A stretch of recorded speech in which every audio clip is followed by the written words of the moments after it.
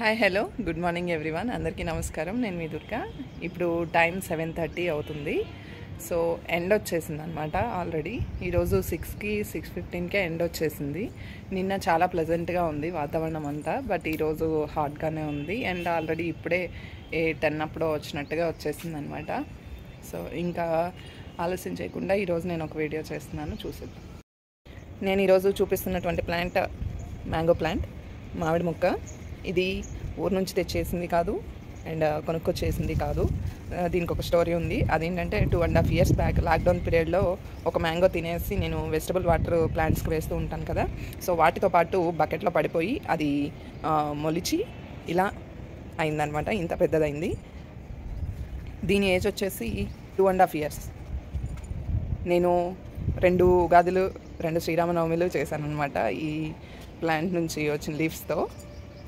So మనం కొనుక్కొచ్చి వేసినా ఇంత హ్యాపీనెస్ రాదు మనకి ప్లాంట్ ఫెస్టివల్ టైంలో కూడా చక్కగా ఈ మన చెట్టు నుంచి వచ్చినటువంటి ఆకుల్ని కొనుక్కొని చక్కగా తోరణాలుగా పెట్టుకోవడము ఇంట్లో డెకరేట్ చేసుకుంటే ఆ హ్యాపీనెస్ వేరు. సో ఇది నేను వేసింది నా కళ్ళ ముందు ఇలా పెరిగి పెద్దదైంది. సో ఇంకా డే ఎలా జరిగిందో ఈరోజు షేర్ చేసుకుంటాను. ఈరోజు జెర్సీ మూవీ చూస్తూ ఉన్నాము. పాప ఏదో ఒక యాక్టివిటీ చేస్తుంది అదేం చేస్తుందో చూద్దాం రండి.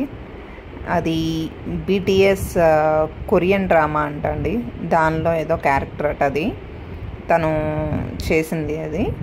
ఆ క్రాఫ్ట్ చేస్తూ ఉంది. ఈ లోపల తను నన్ను పాస్తా అడిగేసింది. సో పాస్తా చేయడానికి వెళ్ళిపోతున్నాను ఇంకా. మీరు కూడా నాతో వచ్చేయండి. పాస్తా నా స్టైల్ చూద్దాం. సో ప్యాన్ పెట్టేసుకున్నాను. ఆల్రెడీ బాయిల్ చేసి ఉంచుకున్నాను. పాస్తా దీనికన్నా ముందు మీకు ఒక ప్లాంట్ చూపిస్తాను.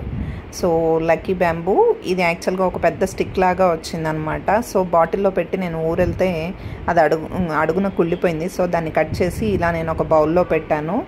దీనికి ఒక టూ త్రీ స్టెమ్స్ కూడా వచ్చాయి. ఒక టూ స్టెమ్స్ వచ్చాయన్నమాట. ఆ టూ స్టెమ్స్ని నేను సపరేట్ చేసి దీని నుంచి ప్రాపగేట్ చేశానమాట ఒక చిన్న పింగాణి కప్ లాంటి దానిలో పెట్టేసి ప్రాపగేట్ చేశాను. సో అది మీకు ఇప్పుడు చూపిస్తాను. చూడండి. అది మదర్ ప్లాంట్ దాని నుంచి వచ్చిన స్టెమ్స్ ఇవన్నమాట. ఇవి కూడా చక్కగా ప్రాపగేట్ అయిపోయాయి. రూట్స్ వచ్చేసాయి అనమాట టూ కూడా. ఇంకా కొత్తగా ఏమన్నా వస్తాయేమో చూడాలి. ఒకవేళ స్టెమ్స్ అలా వస్తూ ఉంటే వాటిని కట్ చేసి ఇలా ప్రాపగేట్ చేసి ఒక బంచ్ ఆఫ్ లక్కీ బ్యాంబూ ప్లాంట్ని తయారు చేసుకోవచ్చు అనమాట మనమే ఇంట్లో. So let wait and see ఎప్పటికి వస్తాయో నేను ఎప్పటికీ అలా చేయగలను. సో ఇంకా పాస్తా చేయడానికి అన్నీ రెడీగా పెట్టుకున్నాను. ఇంకా ఆలస్యం చేయకుండా నా స్టైల్లో పాస్తా చూసేద్దాం. సో ఈ బ్యాంబూ ప్లాంట్ వచ్చేసి నేను కిచెన్లో పెట్టుకుంటాను. నాకు ప్లజెంట్గా ఉంటుందని చెప్పేసి ఈ ప్లాంట్ని. సో దాని యాక్చువల్ ప్లేస్కి దాన్ని పెట్టేశాను. ఇంకా పెట్టిన తర్వాత నేను పాస్తా ప్రిపరేషన్ చేసేస్తాను. ఆయిల్ తీసేసుకున్నాను. దానిలో టమాటో ఆనియన్ ఇంకా వెల్లుల్లి రెమ్మలు కట్ చేసి పెట్టుకున్నాయి. అవి వేసుకొని అన్ని సాసులు సోయా సాస్ టమాటో కచప్పు అన్నీ యాడ్ చేసేసాను.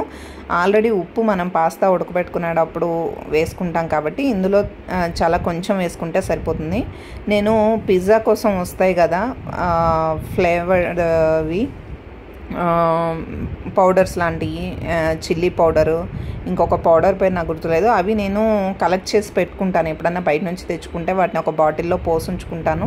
ఇట్లా ఏదైనా ఫాస్ట్ ఫుడ్ తయారు చేసుకునేటప్పుడు ఇంట్లో వాటిని యాడ్ చేస్తాను. ఎక్స్ట్రా ఫ్లేవర్ కోసం బయట తిన్న ఫీలింగ్ రావడం కోసం పాపకి. సో తను అలా లైక్ చేస్తుంది. అప్పుడప్పుడే కాబట్టి ప్రాబ్లం లేదు. నేను కొంచెం కొంచెం యాడ్ చేసి తనకు ఆ ఫ్లేవర్ క్రియేట్ చేస్తాను. సో ఇలా బాయిల్ అయిపోయిన తర్వాత చక్కగా జ్యూసీగా ఉండాలని చెప్పేసి టమ్ ఎక్కువ సాస్ వేసుకోవచ్చు. ఇంకా దీనికి నేను చక్కగా బాగా బాయిల్ అయిన తర్వాత పాస్తా ఏదైతే ఉందో బాయిల్ చేసిన పాస్తాని యాడ్ చేసేసి ఒక ఫైవ్ మినిట్స్ వరకు అది చక్కగా దాంతో మిక్స్ అయిపోయి ఆ ఫ్లేవర్స్ పట్టి అయ్యేంత వరకు తిప్పేస్తానమాట సో అలా ఒక ఫైవ్ మినిట్స్ తిప్పుకున్న తర్వాత ఇంకా వేడివేడిగా పాస్తా రెడీ అయిపోతుంది. చూడండి ఇలా తిప్ మిక్స్ చేసేసుకొని ఒక ఫైవ్ మినిట్స్ ఉంచేసుకొని దాన్ని దింపి ఇంకా పాపకి సర్వ్ చేసేస్తాను. తను ఈ స్టైల్ బాగా ఇంట్రెస్ట్ చూపిస్తుంది. సో అప్పుడప్పుడే నేను ప్రిఫర్ చేస్తాను ఇలాంటి ఫుడ్ సో ఇలా ఈవినింగ్ స్నాక్ గడిచిపోయింది. మీకు ఈ వీడియో నచ్చినట్లయితే తప్పకుండా లైక్ చేయండి షేర్ చేయండి సబ్- సబ్స్క్రైబ్ చేయండి.